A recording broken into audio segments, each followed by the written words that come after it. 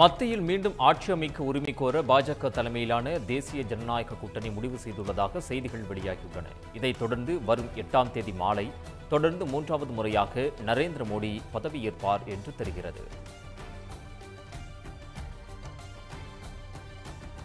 பாரதிய ஜனதா தலைமையிலான கூட்டணியிலேயே தெலுங்கு தேசம் நீடிப்பதாக அக்கட்சியின் தலைவர் சந்திரபாபு நாயுடு கூறியுள்ளார்.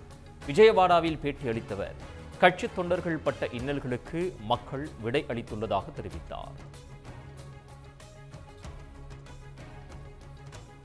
தேசிய ஜனநாயக கூட்டணி தலைவர்களின் கூட்டம் டெல்லியில் இன்று மாலை நான்கு மணிக்கு நடைபெற உள்ளது. இக்கூட்டத்தில் பங்கேற்பதற்காக நிதிஷ்குமார் சந்திரபாபு நாயுடு பவன் கல்யாண் உள்ளிட்டோர் டெல்லி சென்றுள்ளனர். இந்தியா கூட்டணி கட்சிகளின் ஆலோசனை கூட்டம் டெல்லியில் இன்று மாலை நடைபெறவுள்ளது கார்கே ராகுல் சோனியா மு ஸ்டாலின் சரத்பவார் தாக்கரே அகிலேஷ் யாதவ் தேஜஸ்வி உள்ளிட்டோர் பங்கேற்கும் இக்கூட்டத்தில் அடுத்த கட்ட நடவடிக்கை குறித்து விவாதிக்கப்படும். இந்தியா கூட்டணி கூட்டத்தில் பங்கேற்க டெல்லி சென்ற முதலமைச்சர் மு ஸ்டாலினை நாடாளுமன்ற திமுக குழு தலைவர் டி ஆர் பாலு திருச்சி சிவா உள்ளிட்டோர் வரவேற்றனர். காங்கிரஸ் தலைவர் கார்கே வீட்டில் நடைபெறும் கூட்டத்தில் பங்கேற்கும் அவர் இன்று இரவே சென்னை திரும்புகிறார். டெல்லியில் நடைபெறும் ஆலோசனை கூட்டத்தில் பங்கேற்க பீகார் முதல்வர் நிதிஷ்குமாரும் எதிர்க்கட்சித் தலைவர் தேஜஸ்வி யாதவும் பாட்னாவிலிருந்து ஒரே விமானத்தில் டெல்லி புறப்பட்டு சென்றனர். நிதிஷ் ஆதரவு பாஜகவும் அவசியம் தேவை என்ற நிலையில் இப்பயணம் முக்கியத்துவம் பெற்றுள்ளது.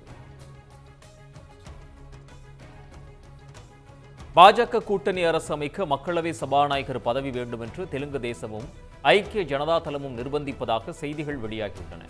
வாஜ்பாய் ஆட்சியில் தெலுங்கு தேசத்தின் பாலயோகிக்கு சபாநாயகர் பதவி அளிக்கப்பட்டதை சந்திரபாபு பாஜக தலைமையிடம் சுட்டிக்காட்டியுள்ளார்.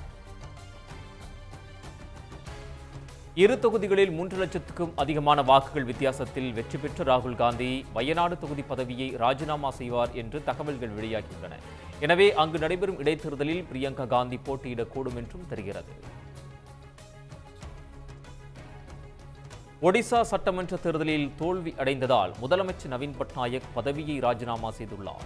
நூற்றி நாற்பத்தி ஏழு உறுப்பினர்களை கொண்ட சட்டமன்றத்தில் பிஜு ஜனதா தளம் ஐம்பத்தோரு இடங்களையே பெற்றதால் ஆளுநர் ரகுவர் தாஸை சந்தித்து பதவி விலகல் கடிதத்தை அவர் அளித்தார்.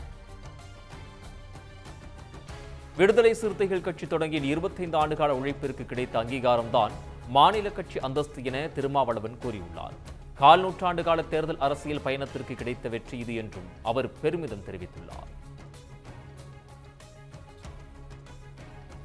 நான்கு கோடி ரூபாய் பணம் பறிமுதல் செய்யப்பட்ட விவகாரத்தில் நயினார் நாகேந்திரனின் ஹோட்டல் ஊழியர்கள் மூன்று பேர் மீதான வழக்கை ரத்து செய்ய உயர்நீதிமன்றம் மறுத்துவிட்டது. மூன்று பேரும் சம்மனுக்கு நேரில் ஆஜராகி விளக்கமளிக்க வேண்டும் என்று நீதிபதி ஜெயச்சந்திரன் உத்தரவிட்டுள்ளார். உலகக்கோப்பை கிரிக்கெட் தொடருடன் பயிற்சியாளர் பதவியிலிருந்து விலக உள்ளதாக ராகுல் டிராவிட் தெரிவித்துள்ளார். தொடர்ந்து பணியாற்ற தமக்கு விருப்பம் இல்லாததால் ஒப்பந்தத்தை நீட்டிக்கப் போவதில்லை என்றும் அவர் கூறியுள்ளார்.